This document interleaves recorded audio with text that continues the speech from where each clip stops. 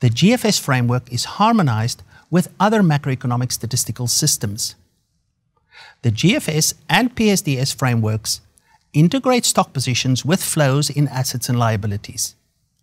This allows us to fully explain the changes in assets and liabilities, including debt liabilities, between two stock positions. Public sector debt statistics are a subset of the GFS balance sheet.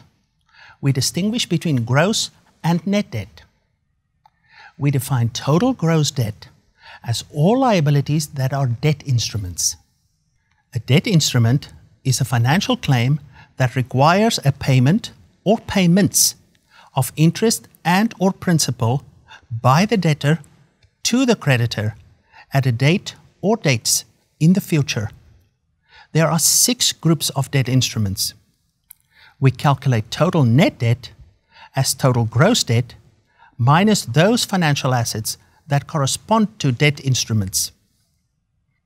Debt liabilities owed by resident debtors to residents of the same economy are domestic debt. Debt liabilities owed by resident debtors to non residents are external debt. Details on the type of creditors and debtors are important components of public sector debt analyses and broader financial balance sheet analyses.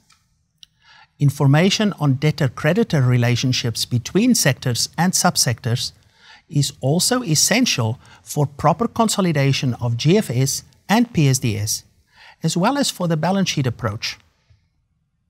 We use a whom to whom framework to present and analyze the holders of debt securities that trade in the market. Contingent liabilities are obligations that do not arise unless and until a particular discrete event occurs in the future. In other words, they are potential fiscal risks for a public sector unit. These liabilities remain on the balance sheet of the original debtor, not the guarantor's balance sheet, unless and until a specific event takes place in the future. We distinguish between explicit and implicit contingent liabilities. The most common form of explicit contingent liabilities are loan and other debt instrument guarantees that, for example, a government issues to a state owned enterprise. Comprehensive public sector debt statistics and GFS should cover all entities that affect fiscal policies and through which government conducts its fiscal policies. At the broadest level, we refer to all these entities that are controlled by government as the public sector.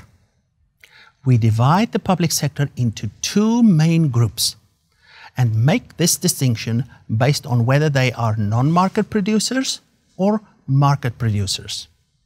First, the general government sector. We include here all government units and all resident non market non-profit institutions that are controlled by government units. The general government sector also includes public enterprises which are legally corporations but which do not satisfy the criteria to be corporations. In other words, these public enterprises are non-market producers. Second, the public corporation sector we include all corporations controlled by government units or other public corporations and which satisfy the statistical criteria to be considered as corporations. In other words, these public corporations are market producers. We distinguish between public non financial and public financial corporations we ask four main questions to determine what entities belong in the public sector and where in the public sector they should be classified.